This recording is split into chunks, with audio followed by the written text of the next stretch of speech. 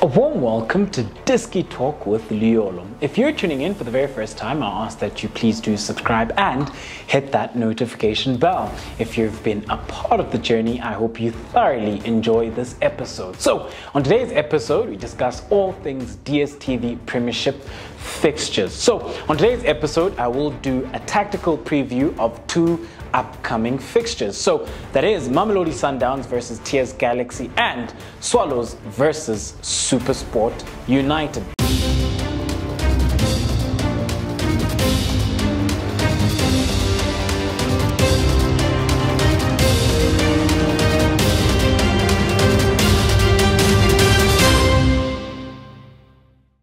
I will start with Mamelodi Sundowns versus TS Galaxy. So coming into this one, then um, it is then quite an interesting encounter and uh, one that I'm looking forward to because. Um, like I have mentioned in the past, you know, I, I thoroughly enjoy um, the relationship between a ball playing side and a side which loves to institute a low to mid block approach to games. So, sort of, um, you know, can you guys break us down? We're going to set up with our two banks of four and five and have one striker and can you guys break us can you guys break us down you know? That's that's always a very interesting encounter you know seeing if um, the team with um, all the um, quality ball players and the superstars from a qualitative perspective can break down the solid low block you know? So going to be a very interesting encounter. So with this one uh, the blue team will represent Mamelodi Sundowns,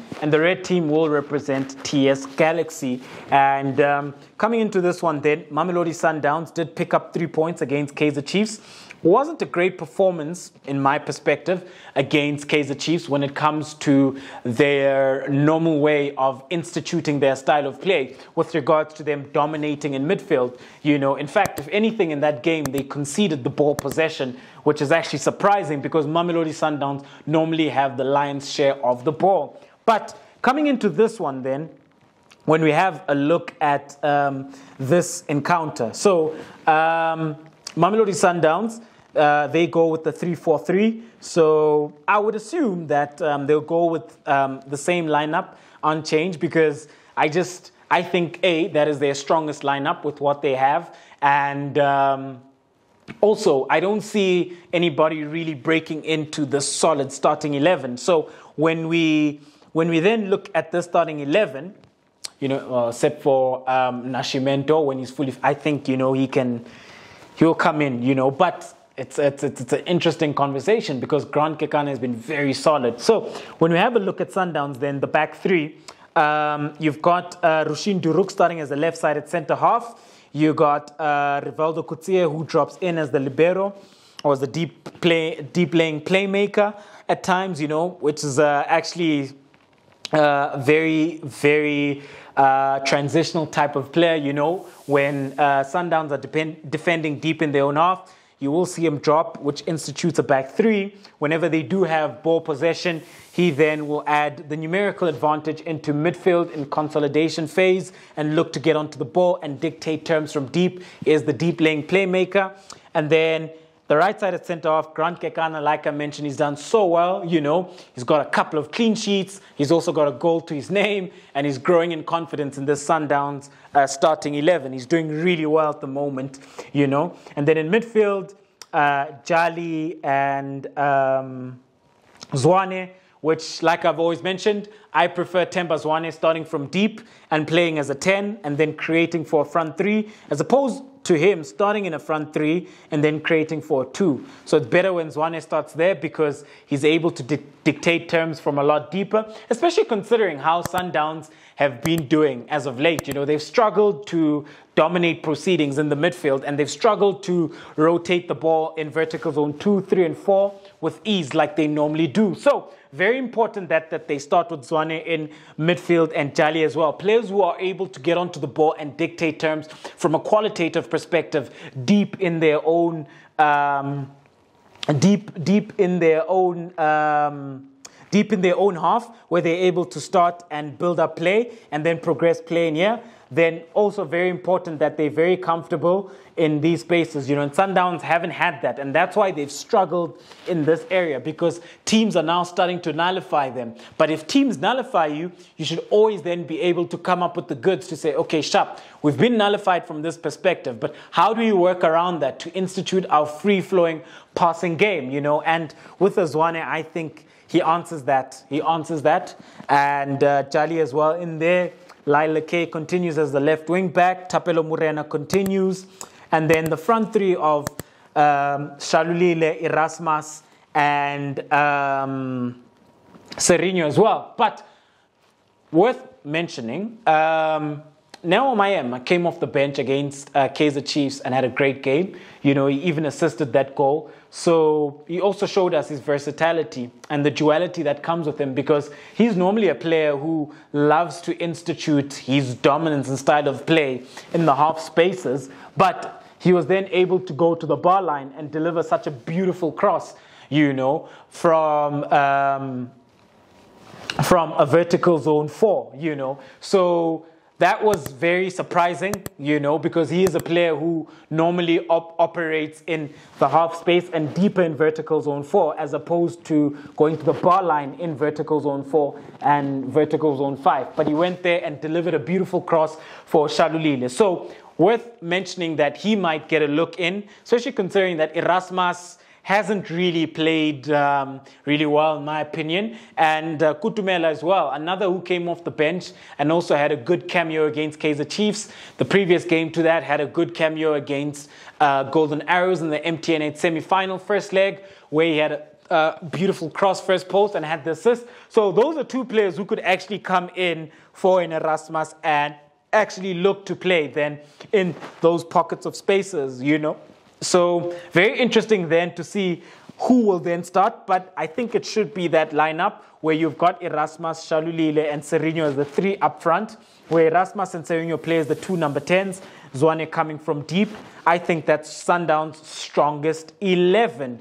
Going then into TS Galaxy. So in goals, they start with Kolak, um, and um, they go with uh, a Look, it's a hybrid system, you know. So I would say they go with um, a 4 3, a 4 3 2 1. At times um, it looks like um, a 4 5 1. So we'll stick to it being a 4 2 3 1 in a sense, you know. And at times then becoming a 4 5 1 whenever um, Brooks would drop in, you know, instead of him being the. So to illustrate, instead of him being the one in the three, you'd sometimes drop into that midfield. Then there'd be three of them. Then it becomes a 4 5 1 whenever they don't have the ball and they're looking to, to defend, you know. At times, like I mentioned, it can also be um, sort of a 4 3 2 1 where it becomes narrow, where you'll have Bata and Nyama coming in a lot more closer to Matupu, but they also go wide as well. So yeah, it's a variation, but we'll go with a 4 2 3 1, which transitions into a 4 5 1 for the sake of, um, uh, of tactical balance and tactical understanding. So when we have a look at the back four, then we've got Lucky Boy Mukwe now starts as the right back. Your two center halves, you've got Makitan, and uh, you've got Macbeth Mahlangu, and then you've got Ebrahim Seedat. But um, Sanoka could come back in into that back four, just to mention, you know. And um, yeah, with regards to this back four, then the two fullbacks, very comfortable on the ball, love getting forward, and very good at delivering those crosses as well, you know, which um, is something they could look to expose Mamelodi Sundowns, especially in this channel and that channel. Like I've mentioned, sometimes when you play with the back three or a hybrid of a back three, you know, um, you do suffer when it comes to these channels. You know, if the two wing backs don't react quick enough, or if the full, if the um, uh, left-sided and right-sided centre halves don't react quick enough with regard to engaging this channel. And you don't want your center backs going into those channels. They're not so comfortable in those fullback channels. They prefer to be a lot more tucked in in vertical zone um, two and four, where they are most comfortable, where centre backs are most comfortable in vertical zone two and four, and then when you really want to go central, then in vertical zone three. That's where centre backs are most comfortable at. But yeah, when you then look at this TS Galaxy side, Lucky Boy Mokoena is the right sided um, fullback. Left sided fullback, Ebrahim Seedat, one of my favorite left sided fullbacks, you know, within the DSTV Premiership quality. And then in midfield, they do go with Umbunjane, Obas, and then Brooks, you know, who starts, I won't say he's the number 10, but he's more of a number eight who's tasked with creative duties when it comes to creating for this front three. And then off the right, you've got Bata. Off the left, you've got Nyama, but they do interchange. And then you've got Matupu as uh, the main man up front. So that is um, actually uh, quite a strong lineup for TS Galaxy. You know, I just wish that they played more on the front foot as opposed to coming into the games and um, trying to be pragmatic and trying to nullify the opposition. Because when you look at those players, I think if they were to impose themselves on opposition, I think they could actually play and go out there and. Um, play some play some good football and actually score goals you know but coming into this counter I think Owen Da Gama will be looking to catch them on the break, will be looking to catch them on the counter. So we will see um, TS Galaxy operating with more of a 4 5 1 in this, count, in this encounter where Brooks drops into midfield.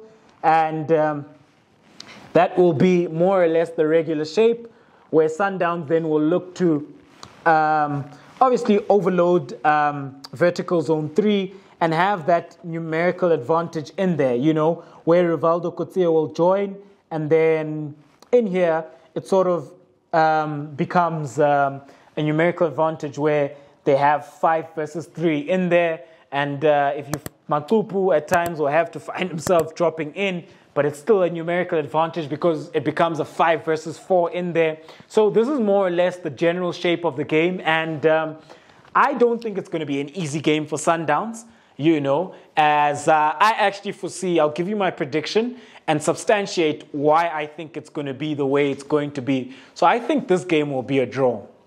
I think it's going to be um, either 1 1 or nil nil. And the reason why I think so is because Sundowns are struggling to break down a team which institutes a low block and uh, struggling to play against a side which um, sets up with uh, a bank of four and a bank of five.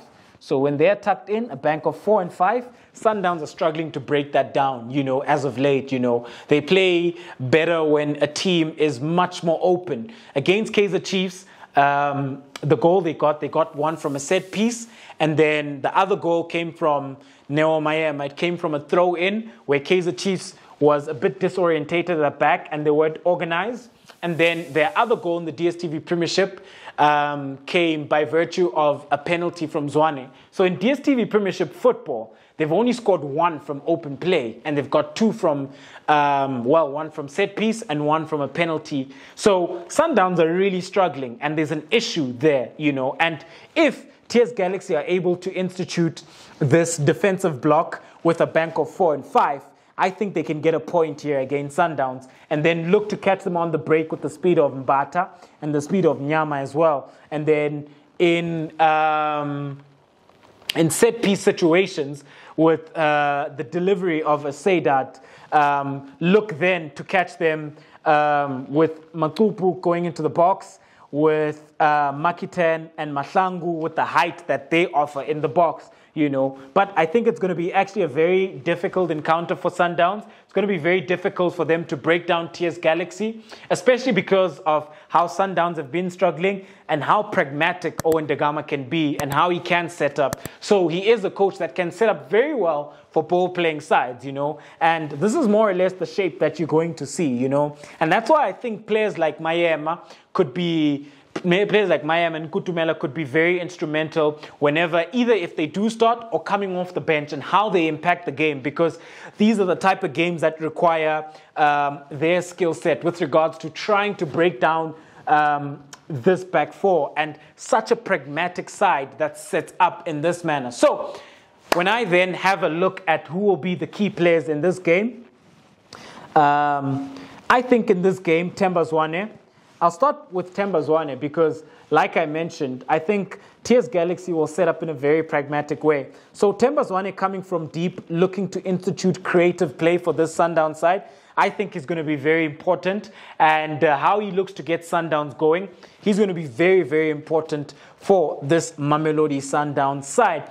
And then when we look at TS Galaxy, a player that I think is going to be very important is Mancupu. And I say going to be very important because I think he's going to get one or two chances. And he has to be very clinical when he gets those chances for TS Galaxy, you know. So at times, this Mamelodi Sundowns defense, as much as they're very solid, but at times you can catch them off guard.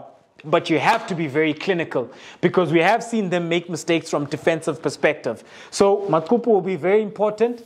Can he make use of the chances that he gets? The very few chances or one chance that he gets. So, with this encounter, then, I see this encounter ending as a 1 1 draw. Unfortunately, I do not foresee a winner. I don't think Sundowns will be able to successfully break down this TS Galaxy side by virtue of how pragmatic they are and how uh, defensively and tactically solid they've become as a unit, you know, especially with their bank of four and five. So, Moving on then to the next encounter, which is Supersport versus Swallows. So this is going to be a very, very interesting encounter, you know, where we're looking at um, two teams which institute different styles of play and um, two teams which started off in the DSTV Premiership very well.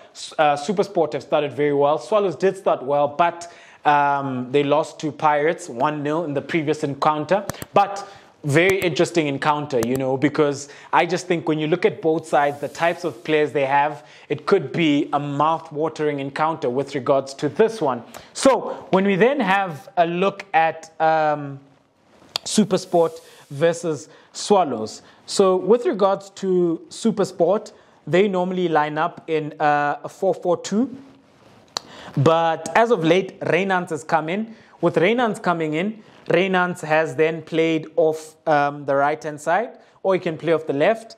Uh, he then swaps with Webber. Mbule has played as a 10, which then is. Um, which then is very important and paramount for a super sports side for it to do well. So, looking at this encounter then, and um, looking at super sport. So, in goals, Ronwen Williams starts, and um, the back four then I must note that um, there has been the international break, so I think it must have been a great time to integrate um, a Buhle Mkhwanazi. So I do foresee Buhle Mkhwanazi coming in alongside Luke Fleurs at right back. Could be Nhlapo or Keenan Phillips. I would go with Keenan Phillips, but most likely Nhlapo if we're going with consistency purposes. Or Onismor Bhasera starts as the left back.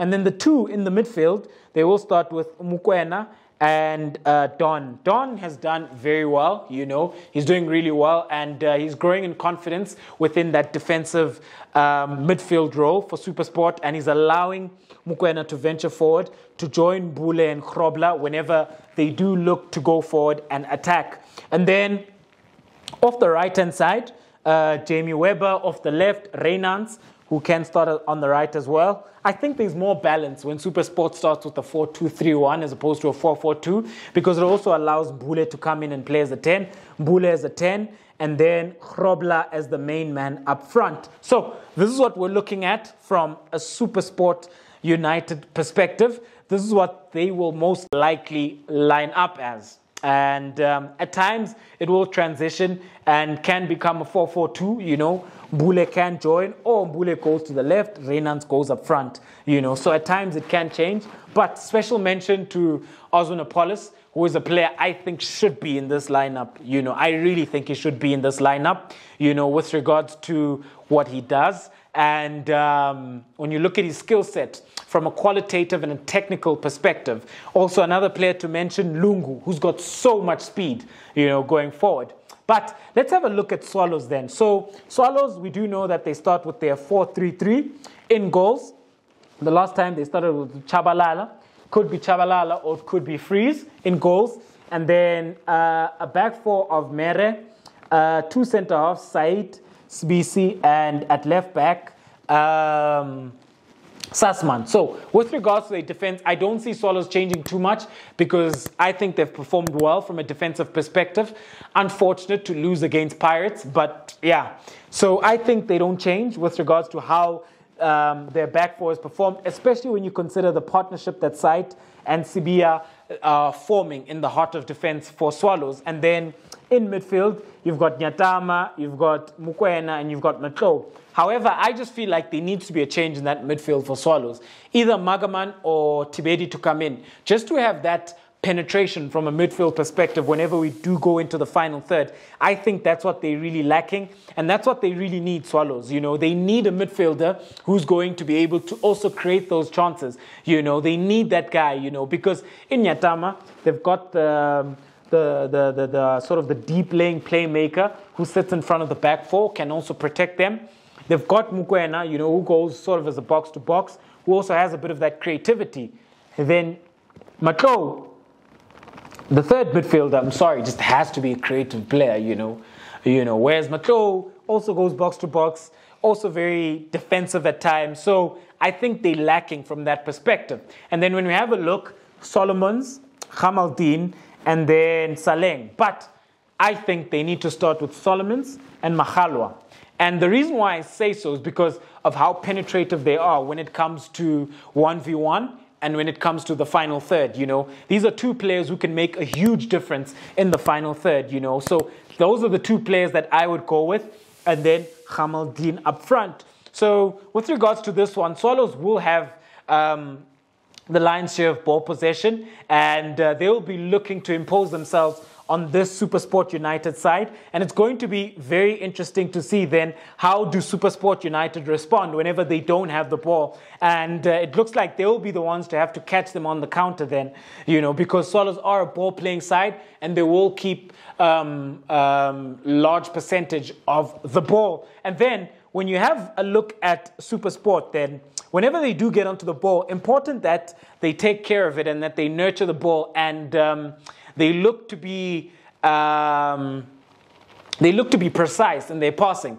because if they've got loose passes on the day, the Swallow side will punish them. Swallows can look to hit you on the counter and they can also keep um, the ball very well, you know. So with Super Sport, very important with when they are in possession of the ball and how they look to impose themselves, you know. And um, when we have then a look at the key players, for this encounter, you know. So I think um, in the heart of midfield, Mokoena and, and Mbule will be very instrumental, especially considering um, how they look to impose themselves, you know, because of Swallows going with the midfield three. And um, with Swallows, if you can win the midfield battle, then you can most likely win the game. So Mbule uh, I mean, Mokoena and Mbule will be very instrumental when it comes to um, this encounter, especially in Mbule when it comes to creating those chances and also looking to get goals for himself because um, he is a player who's got an eye for goal. He's a player who has also scored, um, who scored a goal against Golden Arrows,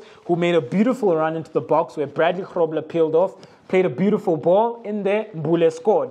So they will be then key. And then when we have a look at Swallows, I think the wingers will be very important because when you look at um, Super Sport in the fullback area, I think that's an area where you can really get at Super Sport. So when you look at Solomons and Saleng or Magaloa, I think they're going to be very instrumental when it comes into this game and uh, how they look then to expose those fullbacks and uh, look to create chances for Ruzaigh Gamildien. But then, ladies and gentlemen, we've come to the end of yet another special episode of Diski Talk with Luyolo. However, I have not given you my prediction for how um, Supersport versus Swallows will play out. So, my prediction then is uh, Swallows will win this game 1 0. I foresee them winning. It's going to be a close encounter. And um, yeah, this is actually a mouth-watering encounter, one that I'm looking forward to and seeing how do both teams look to impose themselves